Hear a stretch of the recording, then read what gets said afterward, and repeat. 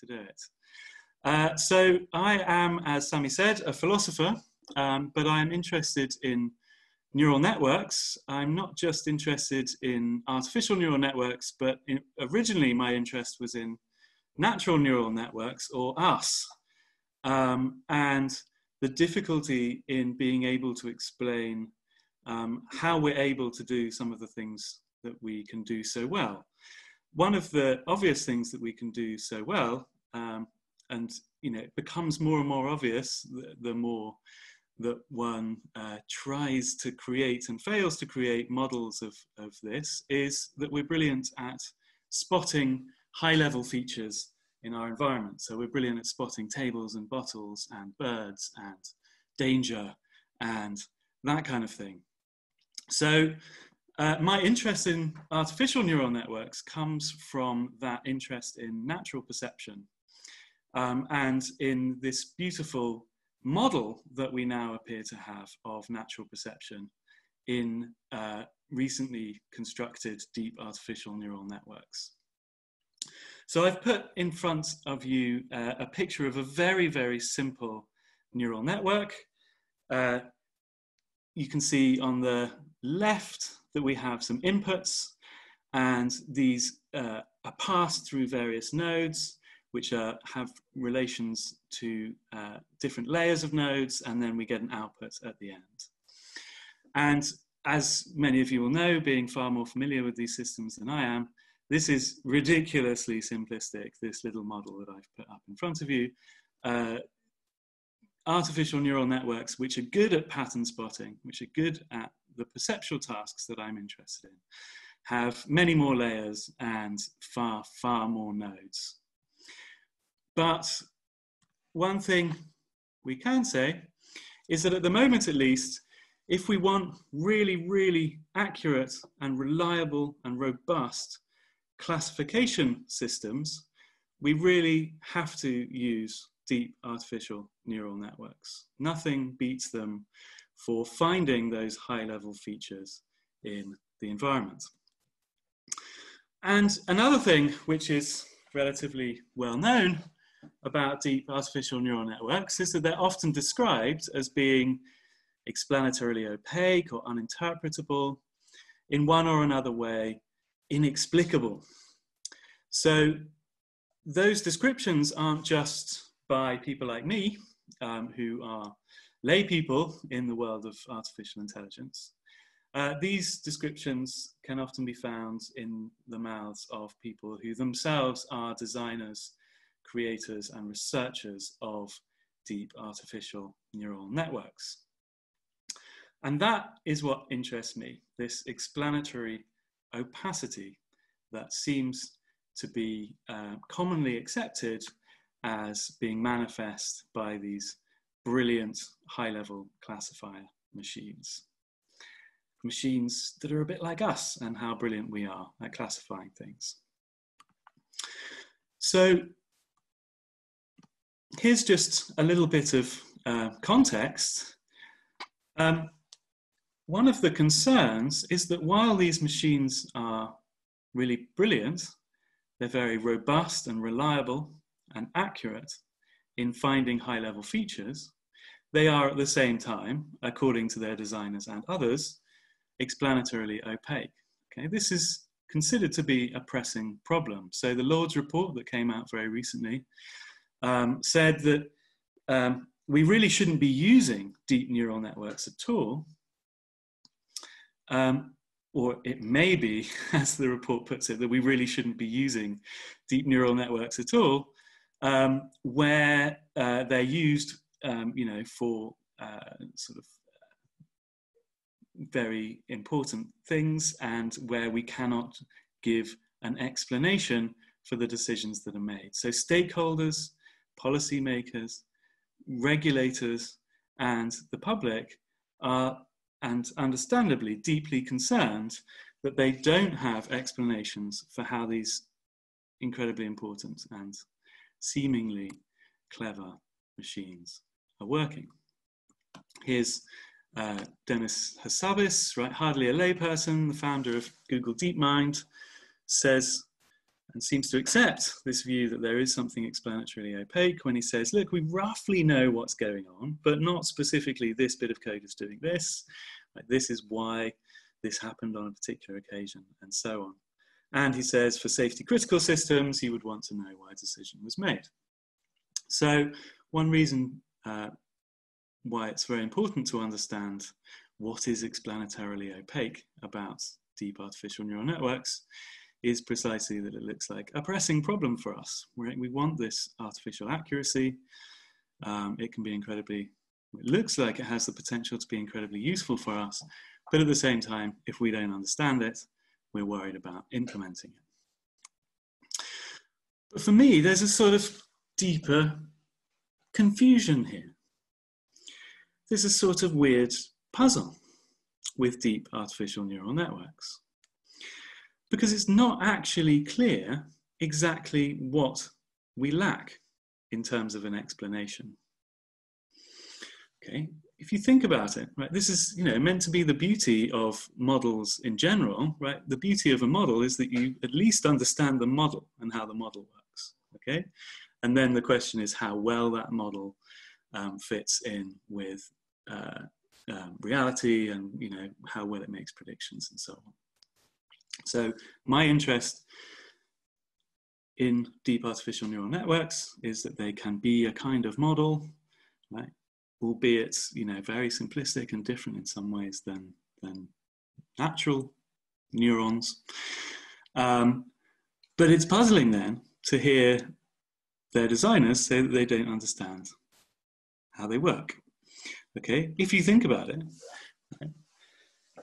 the designers of these systems look like they have complete knowledge, godlike knowledge, both of their systems internal mathematical structure and indeed the mathematical processes that um, occur whenever the system is stimulated. They also have complete knowledge both of current stimulus and all previous stimulus for the systems that they operate with and design. They have full knowledge of the training data itself, all of the training algorithms, and indeed the design decisions in terms of um, what training algorithms to use and how to implement these training algorithms and so on. So it looks like there's just, just vast amounts of knowledge of these systems and how they work. And so it's puzzling in one sense, interestingly puzzling to hear the designers say that they don't understand them. Now, one thing you might say, remembering my comment that the the, the image that I put up of these systems was incredibly simplistic, is to say, well, look, these, these systems are just so complicated, right? There are so many nodes and so many hidden layers that it's really impossible for someone to have complete knowledge of it, even if the system itself is out there and is, in one sense, transparent to inspection. But I don't think that this in itself is the nub of the problem here. Okay, the, the complicatedness of the system is not the nub of the problem. Think about Saturn V, right? Saturn V had, you know, millions and millions of parts, and I'm sure there are other examples which would be even better in this regard, okay? Millions and millions of parts, all put together, designed by thousands of different people, made in millions of different factories out of different materials, interacting with each other in incredibly complex ways. But there's, there's no one person who has um, the knowledge of what went to putting this huge rocket together. Okay, but nonetheless, there's a sense in which we have complete knowledge of, uh, or at least something approaching complete knowledge, actually far less than complete knowledge we have of um, artificial neural networks. Uh, there's a sense in which we have knowledge of what's going on, right? It's all there for us uh, to find. And indeed, you know, you put us all together and you will find um, collectively that um, we do have the knowledge of how Saturn V worked, right? What, what the systems were and how they worked. So even though an individual might not be able to get um, for themselves complete knowledge, everything is accessible to any individual and you put all the individuals together and you have something like complete knowledge. Now, I say that in the case of artificial neural networks, we're actually a lot closer to having complete knowledge than we have of something like Saturn V, which we think that we do understand.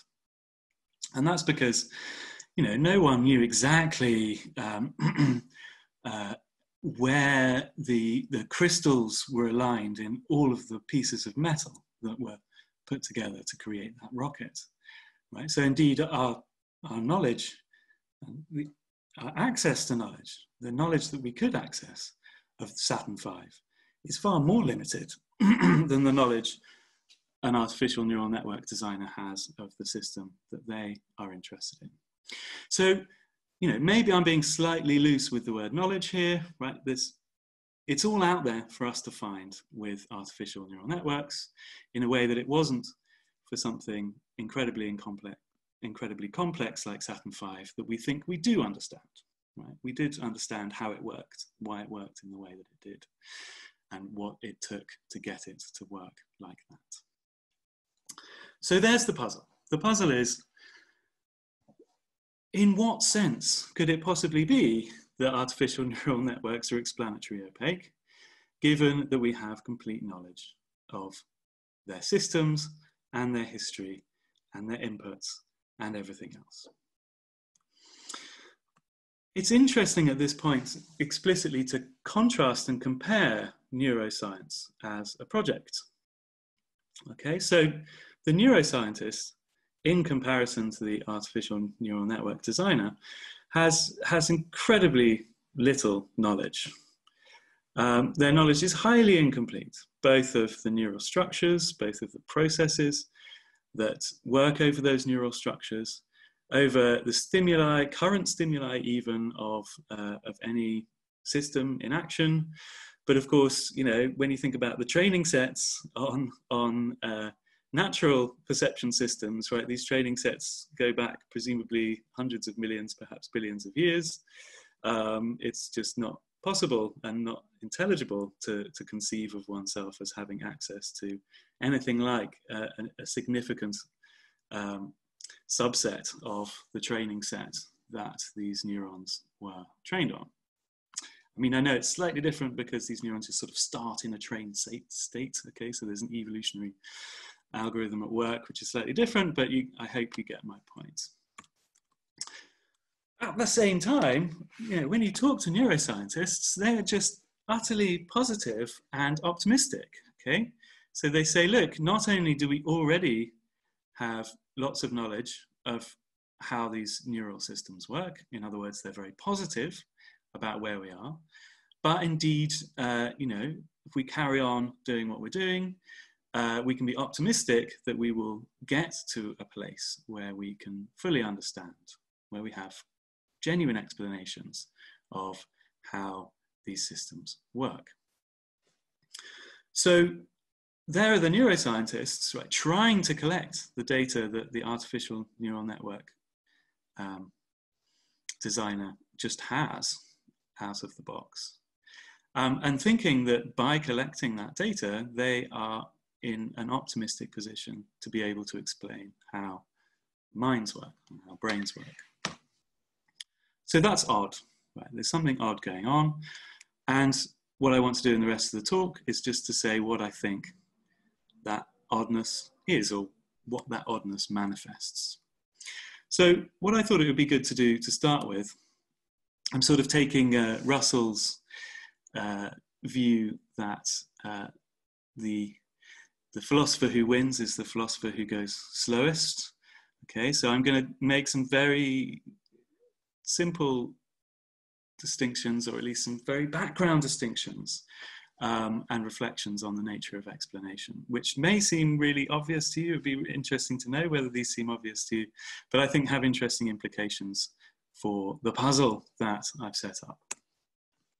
And what I want to say is that, at least in this case, it looks plausible that what we want from an explanation is a mechanism, and I'll say a little bit more about what mechanisms are. So the neuroscientist thinks that they are finding the mechanisms that underpin navigational behavior or um, perceptual capacities and so on.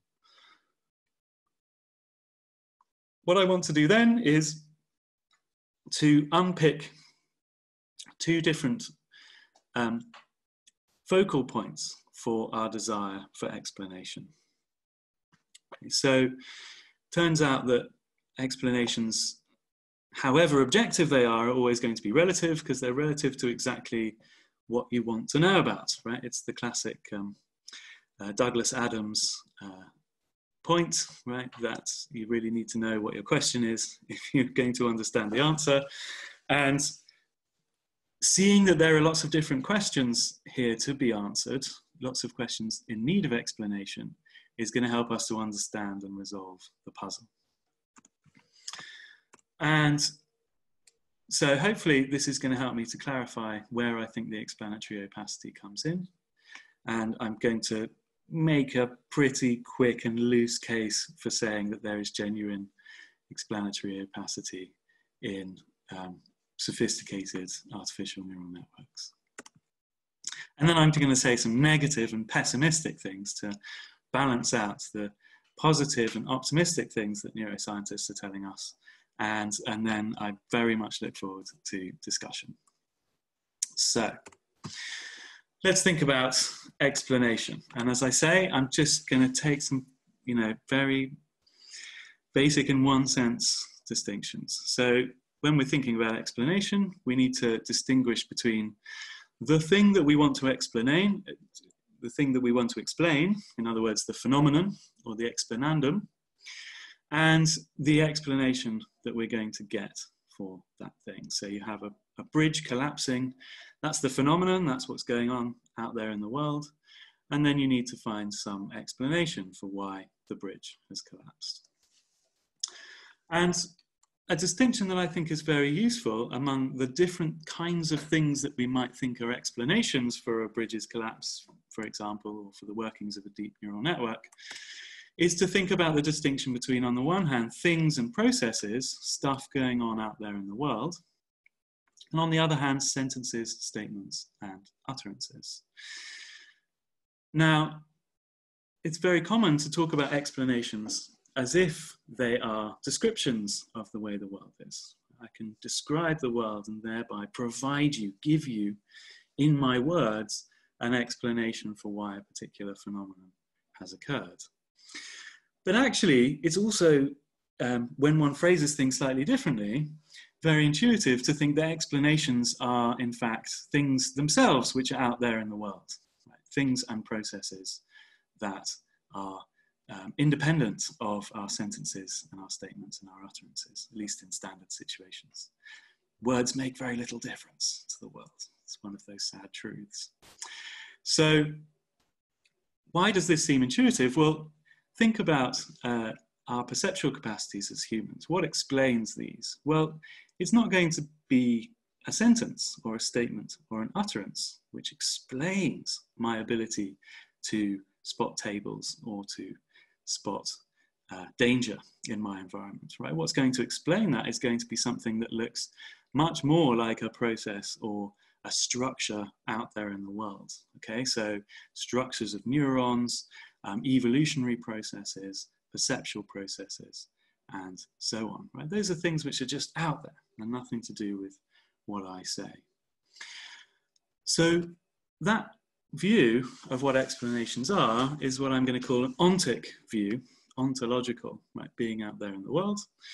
And we can contrast that with what we might call an epistemic view of what explanations are. Okay, they're descriptions of or sentences relating to those things and processes which bump into each other out there in the real world and create the effects, the phenomena that we're interested in understanding. I want you to contrast that contrast, that distinction, with another distinction which we quite often draw when we're thinking about explanations, or we quite often find ourselves hovering around, which is a distinction between the things which actually go on, which are responsible for the things we're interested in explaining, or the truths, true descriptions concerning those on the one hand, and on the other hand, those claims about the world which satisfy our desire for explanation. So, you know, sometimes uh, someone will try and explain something to me and it just doesn't satisfy me. They've said things. These things might be true. These things might even be uh, the causes of the phenomena that I'm interested in having explained. But for one or another reason, they don't satisfy me. Okay, so that, that view, so then it doesn't explain it to me, right? If, if that's the situation that we're in. And we quite often talk about explanation in that way. Quite often talk about explanations as being dependent on satisfying our audience. Right? It only explains it if it explains it to a particular audience. So I'm going to call explanations of the first kind, right, which, which include both ontic and epistemic understandings of explanation, objective explanations. Right? There's things out there in the world, truths, um, states of affairs, whatever it is, causal processes that um, are responsible for the phenomena that we're interested in explaining. And on the other hand, I'm going to call that sense of satisfaction that we sometimes get and sometimes fail to get um, a subjective understanding of explanation. It's just a matter of how the subject feels or responds to a particular claim. So now, with all of that in mind, uh, let's think about the other side of explanation. Okay, so we've thought about the explanans, we've thought about um, what kinds of things we mean to talk of when we talk of explanations, right? These are either you know, sentences which satisfy or sentences which are true or aspects of the world um, which are out there and genuinely responsible for underpinning the phenomena that we're interested in. But I also said that it's important to understand what we're trying to explain and that all explanations are relative in the sense that they're relative to the phenomena that we're interested in. So take the example that I gave you before. We might be interested in trying to understand why the bridge collapsed. Okay, and there's going to be certain things which might be relevant to that, right? How, you know, what the crystalline structure was of the of the metals, um, you know, what the calculations were as to how much load this would bear, how much resonance there would be um, in the structure, and so on. You'll notice that here's a different thing that we might want explained. Right? We might want it explained, not just why the bridge collapsed, but why it collapsed so quickly. Right? There's sort of the slow rumbling collapse that one might imagine, and then there was this collapse, which was just so sudden and so catastrophic. And we might be interested in why it was so catastrophic. And for that, different aspects of the world or different truths about the world are going to be relevant. They're going to be responsible for that phenomenon or that aspect of the phenomenon that we're interested in. Right? We might need to know, you know, why uh, one uh, one breakage led to so many other breakages, right? Why it had that knock-on effect and so on. That's, those questions are going to be relevant to this second phenomenon, the sudden collapse, in a way that they weren't perhaps going to be relevant to the first phenomenon, the collapse itself. And again, we might be interested in why the bridge collapsed so noisily. Next time I want my bridges to collapse less noisily, find out why this collapse was so noisy, and then we might start finding that things like, you know, the resonance properties of the materials um, are relevant in a way that they weren't relevant to the question of why the bridge collapsed. Here's a couple of other examples. So notice that all of those first questions are questions about a specific event that occurred. Okay, there was this particular bridge and there was a particular collapse of that bridge and it was sudden and noisy in those particular ways. So there was just a token or an individual event that we wanted some explanation for. But we might also want explanations for more general questions, right? Given some particular conditions, some wind speeds or some number of cars or people on the bridge, right, we might find that all bridges of a particular design collapse and we might be interested in knowing more generally why bridges of this type, why bridges with this design collapse under those circumstances. Or again, we might think of uh, the kind and be interested in the contrast between the kind of bridge that this was and its collapse on this particular occasion.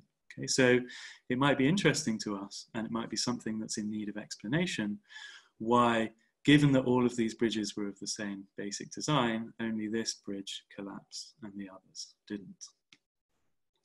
So this is all a very long way of saying, look, you need to know what question you're asking if you're going to know what will satisfy uh, that question as an explanation.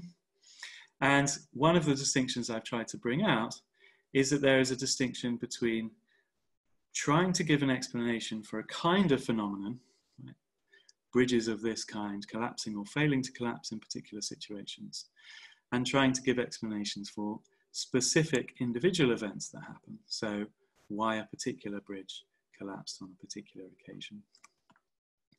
Okay, so when we're trying to explain why all bridges of this design collapse, we need to find things which are relevantly similar between the different individual bridges that we're interested in, which explain this shared property that they have of collapsing under conditions C.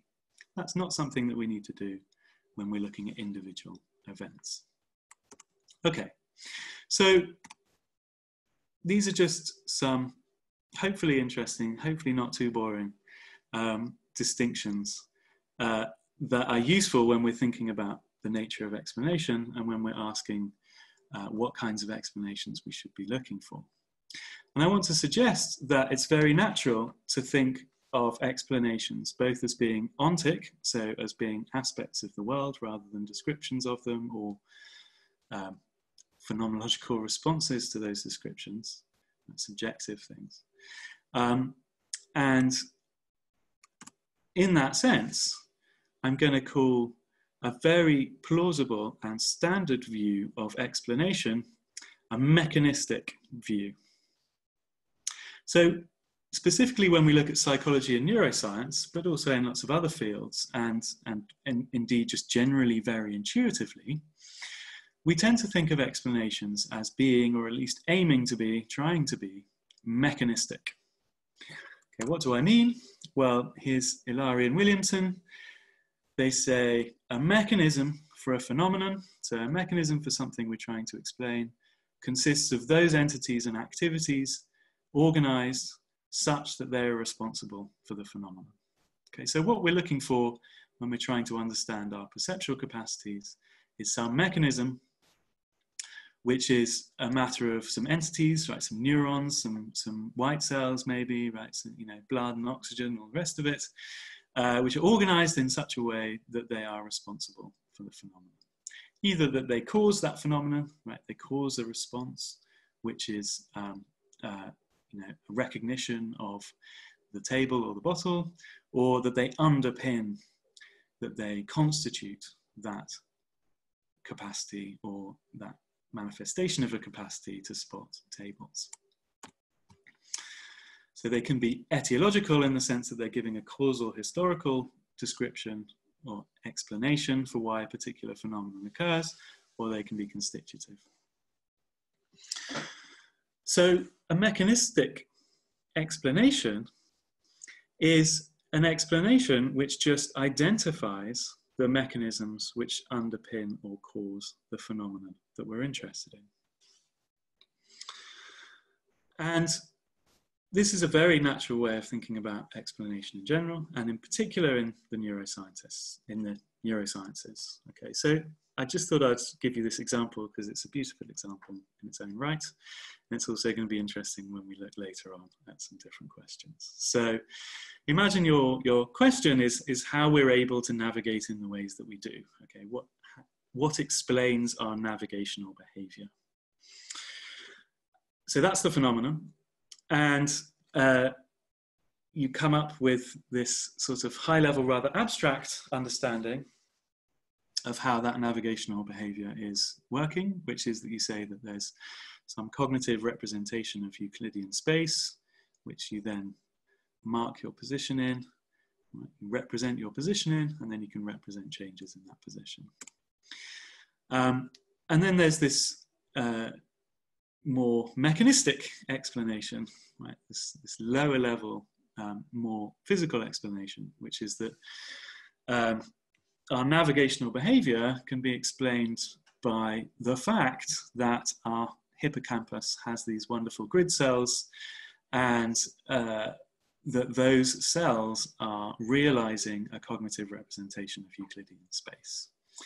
And when you do um, fMRI scans, you find these beautiful hippocampal grid cells which look like they are almost physically manifesting representations of Euclidean space.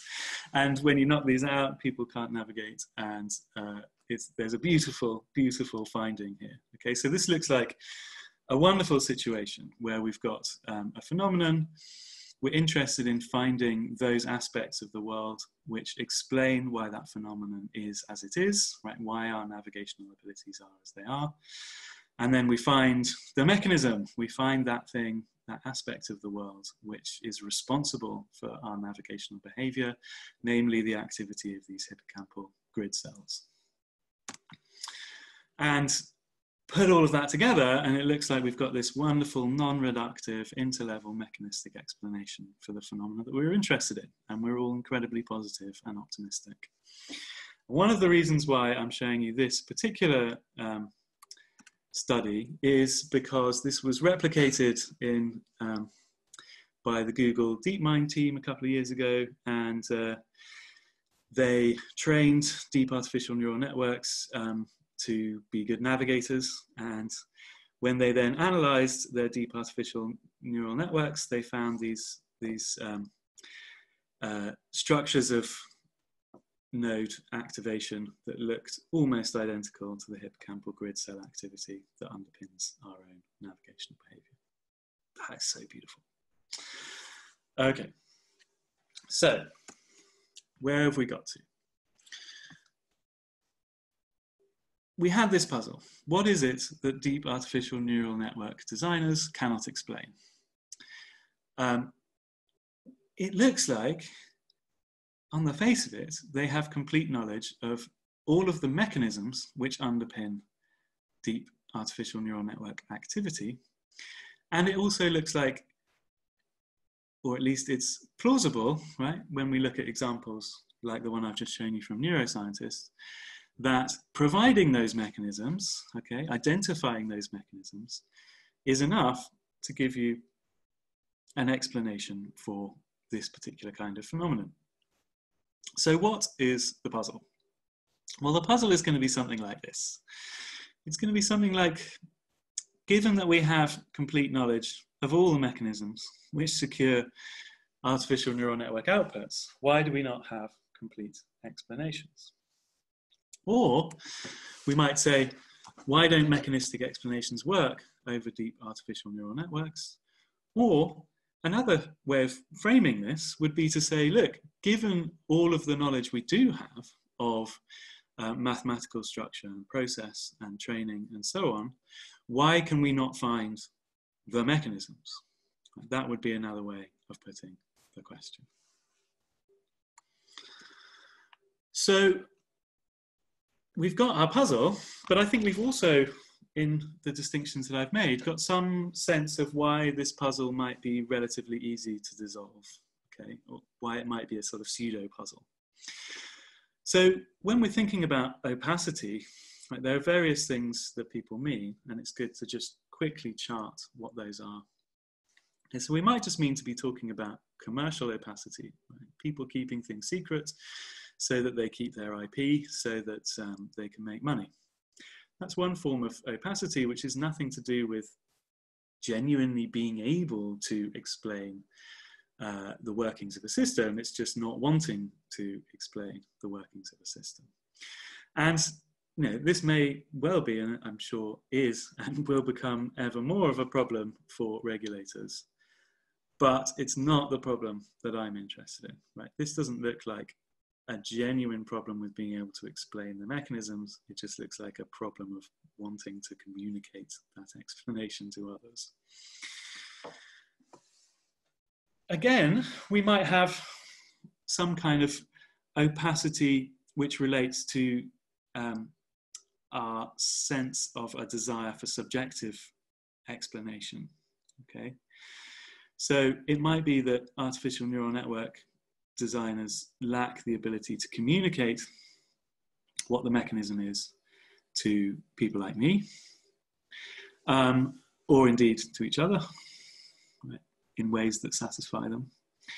Um, and it might be that people like me just really don't have what it takes in terms of background knowledge um, to understand the explanations that we would be being offered. Genuine explanatory opacity, in the sense that I'm interested in, is opacity where there just really is no explanation, or no explanation perhaps of a mechanistic kind, of the aspect of the phenomenon which we wanted explaining. So it's useful to have those distinctions in mind whenever you're thinking about opacity. Um, and I think some there's going to be some temptation here to say that it's going to be just these subjective elements or communicative or public elements or indeed commercial elements which are explaining the um, explanatory opacity in this particular case. And there's just sort of different evidence here. So I'm just, you know, doing a little bit of sociology of artificial neural network design here. So we've got people like Lynn in 2007 saying things like, many algorithms using artificial neural networks are understood only at a heuristic level. In other words, they're not really understood at all. They're just, uh, we've got helpful models that help us to predict which ones are going to work. Okay, so it's not really an understanding. It's just where we empirically know that certain training protocols employing large data sets will result in excellent performance. So we just know that there's a, a particular kind of reliability profile, but we don't have any explanation for why the systems are as reliable as we know them to be. Here's um, uh, a lovely graph from Gunning and DARPA uh, a few years ago. So chart on the left of all of the different machine learning techniques. Um, you'll see that neural nets and deep learning are on the left. Um, things like you know nice linear regression models, decision trees, ensemble methods, random forests, and so on are on the right. Um, and they argue in this paper that there is an inverse correlation between explainability and prediction accuracy. Okay, so they've got this lovely graph Okay, the more accurate you are, the less explainable the system is. And with deep learning systems at the top of the accuracy pile and the bottom of the explainability pile. Now, of course, one interesting question, which isn't actually completely clear from this paper, is how they measure, how they quantify explainability. Um, and, you know, I hope at least, you know, by giving the talk, if not by the content of what I've been saying, you'll be starting to question what it means to explain anything. I mean, what, what an explanation really is. Um, and so it's unclear how, how we're quantifying on the, on the right there. But still, I think this graph is fantastic. And I think many machine learning designers would agree, um, would just accept that this is the situation they find themselves in. At the same time, we have lots of uh, people writing as if it's just assumed that there is a particular kind of explanatory transparency um, where it comes to at least um, perception systems, which are deep artificial neural networks. So we've got Nguyen et al. 2015. This is not um, an uncommon way of talking. It comes from Hinton Deep neural networks learn hierarchical layers of representation from sensory inputs in order to perform pattern recognition. Well, if that's not an explanation for how a system in general is um, recognizing patterns, and if that's not the kind of generic explanation that one should be able to dig down into for particular systems to provide a genuine mechanistic explanation for why a system is good at spotting traffic cones or whatever, then I don't know what is, right? So this looks like just an assumption that um, systems are genuinely transparent. And then the problem, the opacity, would be communicative, subjective, um, much less interesting from a philosophical point of view, even if still concerning from a regulatory point of view. I mean, one thing that's interesting to note here is that even though there's often things are talked about as if deep artificial neural networks are in fact completely transparent. We don't find the transparency. It's not as if you look at uh, the code, you find these hierarchical layers of representation. Okay, you find hierarchical layers just in the sense that you know that you put them in there. Um, and then when you look at, as it were, the contents of those layers, you don't find any representations um, at all except of the layer before. And so you certainly don't find um, more and more uh, abstract kinds of representation of, of the kind that's being invoked here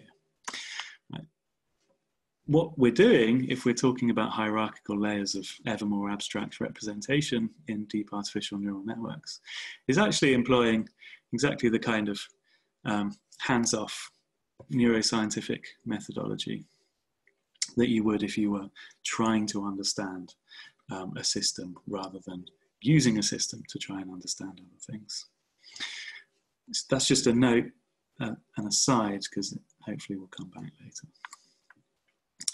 So what I want to do now is just to is just to try and argue that there there really is good reason to think that there's this more interesting kind of explanatory opacity um, that we're just not finding the mechanisms. It's not just that we can't talk about them very well or that people like me can't understand them. It's just that we're not finding explanatory mechanisms um, that answer the questions we wanted to ask about deep artificial neural networks. So here are some concerns. They go from sort of more abstract to, to more empirical. Uh, the most abstract one is just, it's just that there is a failure of mapping, and indeed it's the failure of mapping that explains why we um, employ artificial neural networks in the first place. Um, another sort of slightly less abstract problem is what I'm going to call the information problem following DeWitt. And then there's a nice uh, example of how difficult it's going to be to really be satisfied that we've found explanatory mechanisms where it comes to um, really good, robust, deep artificial neural networks. Okay, so more abstract. Why, why do we turn to artificial neural networks, it's precisely because it's precisely in those situations where we don't have any map, we don't have any reductive explanations of how high level properties like being a cat relate to the low level properties which stimulate us. Like distal properties like fluffy faces and pointy ears, which of course lots of other things have, as well as cats. Um, or even worse, proximal stimuli, so just the, the actual um, stimulation of, of your retinal cones or uh, the direct proximal inputs to artificial neural networks.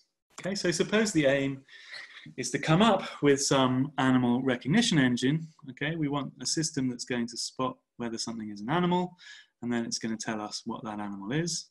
And then we think about this cat and we go, well, look, you know, it's great. It's got pointy ears. It's got those round eyes. It's got those little teeth. Okay, but then you then you think about all of these other pictures and you think, well, frankly, you know, if you're just thinking about the bitmap here, right? If you're thinking about the um, the spread of pixels, the proximal input to the system, uh, you are going to really struggle to understand how we can think that these are all cats. Okay, they've got different shaped eyes, they've got different colored fur. There are different things that you can see. You can see a tongue in one, you can see teeth in another. Uh, you've got round eyes in one, um, and so on. So, you know, if you think of it, they all look like cats to us. It's very, very hard for you to concentrate on the bitmap, but be painterly. Try and imagine what you'd need to do to paint it, and it just looks like there's nothing that these things have in common. Um, and so we don't know how that proximal input maps to being recognizably a cat. That's why we use artificial neural networks.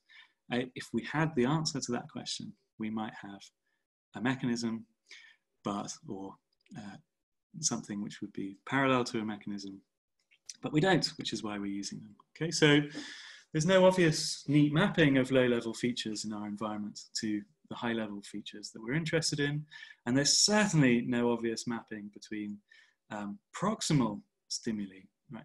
Bitmaps, inputs, retinal stimulation, and even low level features like fluffiness, let alone high level features like being a cat.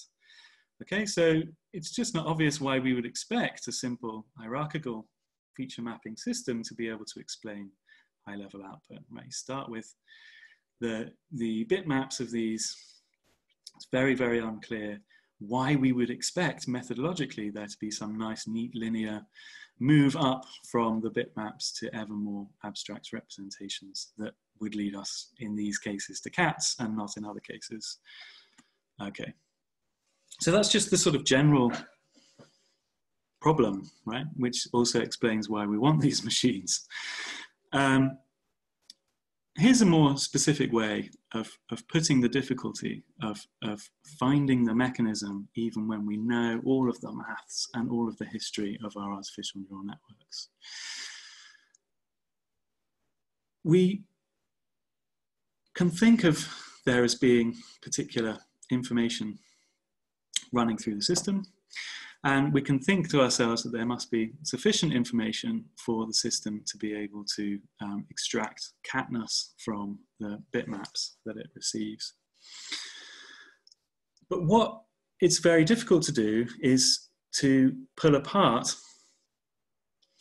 um, what you might call system as receiver information, right? So thinking of this system as a contained system in its own right, which is eventually outputting a representation of catness, an experimenter is receiver information. So where we are thinking of the information that we might model the system as representing for our own experimenter purposes. So the worry is that when you actually look at the mathematical processes, you don't find on the face of it, you know, contrast classical computation, you don't find any representations that are going to help you to understand mechanism. And it's very hard to know, uh, or it's very hard to feel assured that you can model those accurately. For instance, areas of the system which are not firing on a particular occasion, right? The, their failure to fire is just as much a causal influence on the layer above as would their firing be. Okay, it's just as much of an influence as to how uh, the uh, the nodes will, the nodes in the layer above will fire, that a particular area is not firing. So there's a question about where, what kind of information there is and where it is and how we would map it, right? Is a failure to fire um, going to be considered to be um, a part of the information flow through the system? If so, how's that going to relate to particular representations? Okay, so um, I'll leave that there. I'm happy to answer it more. I'm aware that I've been talking for quite a long time. Uh, okay, so my, my third and final and most specific uh, case for the prosecution um, is uh, a wonderful finding also from Google DeepMind about node selectivity. So what are we trying to do? Who is the opponent that I am imagining here? The opponent is someone who thinks, look, yes, we have all of this complete, complete knowledge. And in fact, when we look very carefully at that complete knowledge, we can find mechanisms which explain how the system works. Um, so here's a beautiful finding from the DeepMind team. So they found an inverse correlation between the selectivity of the nodes, so how specific the nodes are in their firing, and how well the artificial neural networks generalized, in other words, how, how well they performed, um, how well they took their reliability from their training set to the real world. So a node is going to count as being selective of some feature like being a cat or being fluffy or whatever, if it tends to fire when and only when there's fluffiness or when there are cats. And a network generalizes if it reliably outputs correctly in response to novel inputs, in other words, inputs that it hasn't been trained on. And the finding for al. was that networks which are intuitively um, more mappable, right, intuitively have these nodes which are more selective, more easy to think of as being representations as part of a mechanism delivering your output, they're going to, they just turn out to be less good as artificial neural networks than networks in which particular nodes are less selective, in other words, where it's much harder to think of yourself as accurately modeling um, interesting representations into the system, explanatory representations into the system. Okay, so uh, I'm going to cut that. So this is just thinking, look, you know, people have made these attempts. Um, I'm suspicious of these attempts.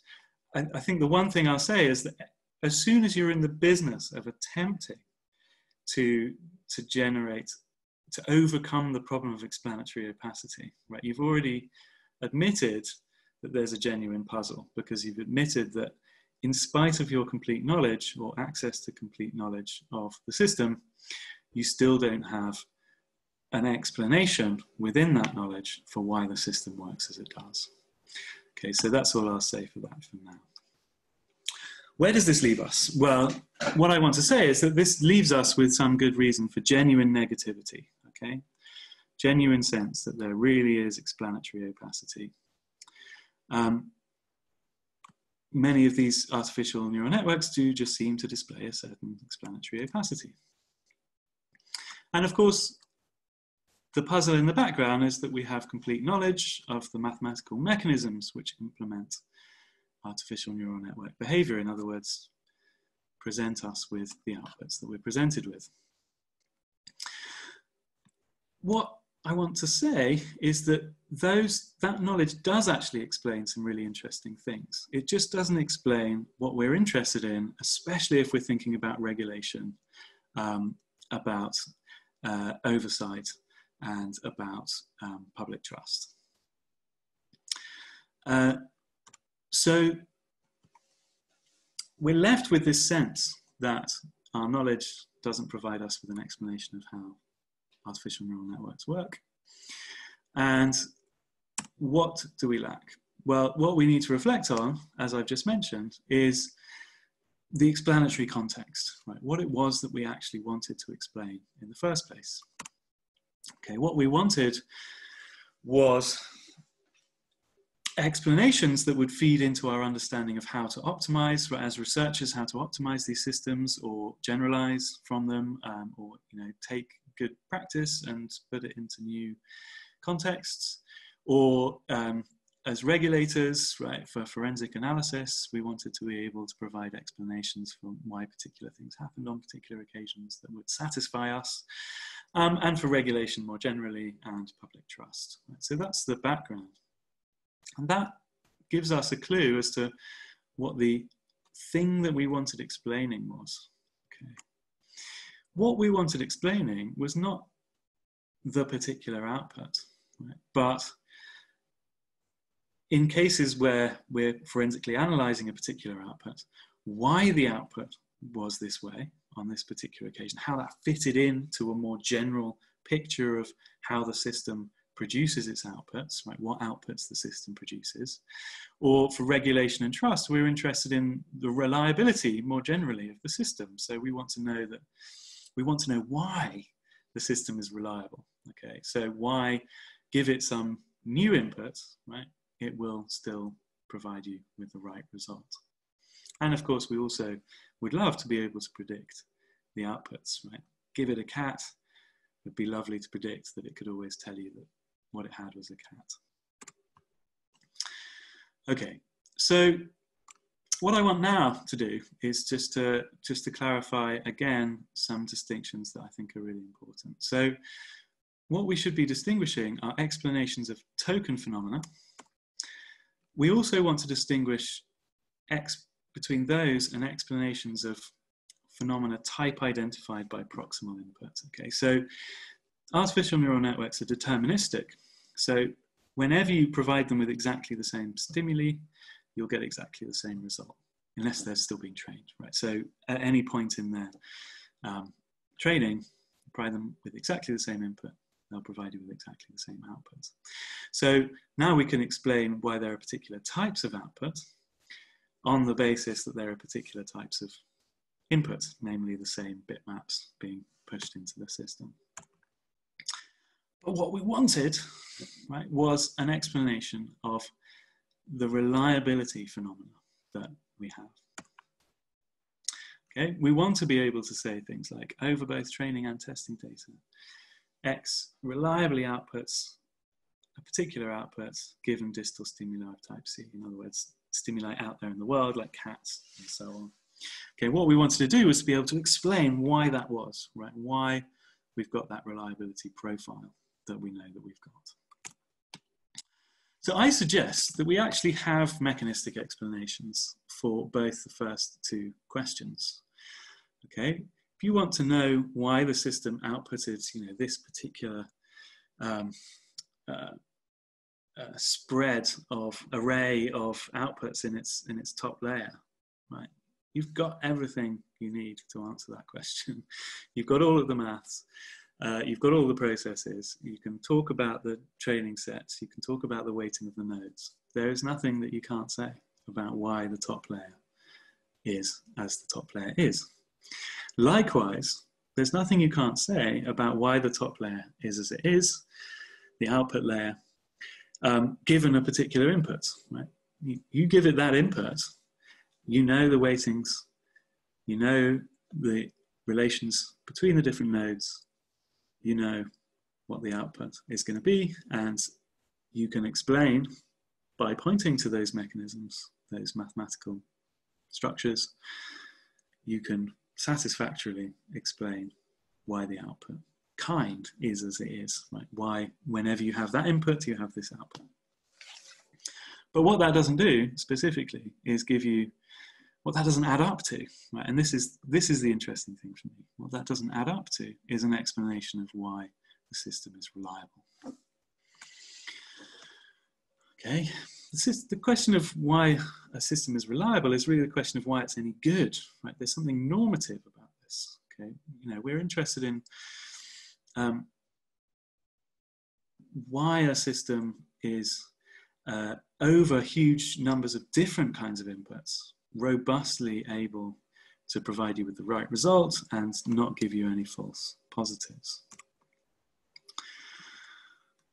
So as stakeholders, as regulators, and so on, right, we are interested in the questions of why systems are reliable or what grounds their reliability. Okay, and I just want to want you to note that that's not the same as being able to describe the reliability profile of an artificial neural network. Okay, you can ask when is a neural network reliable or you can ask what is the shape or the profile of that reliability, in what kinds of domains, over what kinds of domains, right, within which kinds of parameters is this system reliable. And indeed, you can get um, answers for those, right, just by doing lots of testing um, and trying things out. And notice that the second one is just an empirical generalization, right? You're just, you're just saying with good reason that the system does have a particular profile of reliability. What you haven't given us, why we feel unsatisfied, right, is not, not just because um, we don't understand the maths, okay, although we don't, I don't. Uh, it's that what we haven't been provided with is, is a normative explanation for why that empirical generalization is true, okay? Uh, we've discovered that the system is reliable within certain parameters. We're happy with that, but we just don't understand why. And looking at the system, this is what's so odd, does not deliver us a mechanism. We don't find the kinds of representations or the structures of representations or processes over representations, which would allow us to understand why the reliability profile is like this. So there's some good news here, right? Which is that, look, we can just be honest about this and say that we've got all of the tools that we need to give well-justified empirical generalizations about the reliability profiles of artificial neural networks, like what within what parameters they're good, um, you know, what you do to, what it would take to mess them up, um, what kinds of um, uh, uh, what kinds of stimuli they would go wrong with. Um, and then, you know, as long as uh, those parameters are parameters that we're happy to accept and that we're happy to leave the system running within, um, we've got an awful lot of confidence. We can, can have an awful lot of confidence in what the system is doing. The danger, I think, one of the dangers is um, uh, not recognizing or not being sort of honest with ourselves enough about the difference between just providing that reliability profile and um, giving a genuine explanation of the mechanisms which underpin um, kinds of outputs, namely, you know, the cat output just when there are cats. Okay, so I know I'm running low on time. Okay, just think of a bridge designer. Here are three different things you could do. Um, give a narrative explanation for why you think this bridge is going to stay up. Right, that's what we have with artificial neural networks. You can give a precedent explanation. Notice these aren't explanations of why it will stand up, they're explanations of why we should be confident that they will stand up. Right. Precedent explanation, other bridges have done well. And in the case of bridges, we also have a normative explanation because we've got the mechanisms, the laws of physics, the natures of the materials employed, and the way they're put together, which shows us why the system is reliable. Okay, so where have we got to? I suggest that artificial neural network designers have complete token mechanistic explanations. Right? They have they have them, as it were, the mechanism which explains every specific output, every individual output, every event of outputting that the system deploys. Because that's just the maths. These are deterministic. We know it's not magic. Okay, and we shouldn't be ashamed to say that these those are explanations for um, the particular outputs. Um, objectively satisfactory explanations for the particular outputs that we find. Um, we can generalize those, but only when we've got sameness of proximal input. Um, and we can also give justified empirical generalizations as to the shape of the reliability of our systems. So what we're lacking is this. What we're lacking are normative explanations of the grounds of that reliability. In other words, why the system has that reliability shape. Why are we lacking them? Because we can't find um, enough internal structure for example, representational structure, which is why I went through those questions about representations. We just can't find that kind of structure. In other words, we can't find uh, the bits and pieces that the system is um, composed out of in such a way that we can understand why the system keeps working in the way that it does.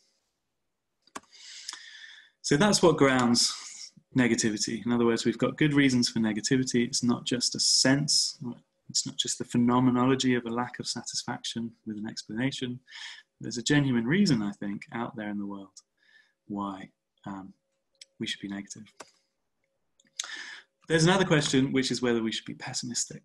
So, just from the fact that we don't currently have the right mechanistic explanations, um, it doesn't follow that we won't have.